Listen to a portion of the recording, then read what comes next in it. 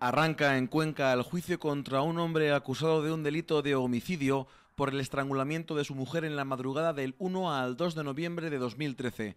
El acusado ha admitido los hechos y se ha declarado culpable. Usted se adelantó hacia su esposa, la tiró al suelo, la cogió del cuello y la estranguló con intención de acabar con Sí, ella. ¿Sí? sí, Usted eh, ha recono- eh, reconoce entonces y se declara culpable según las preguntas sí, sí, por supuesto. El presunto autor de los hechos ha realizado además un pago de 350.000 euros a la familia de la víctima con intención de reparar el daño causado.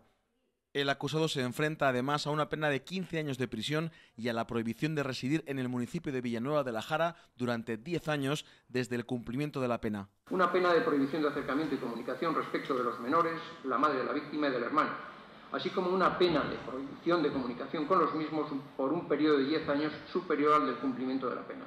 Se prevé que el juicio quede visto para sentencia después de que los responsables de la investigación aporten su testimonio.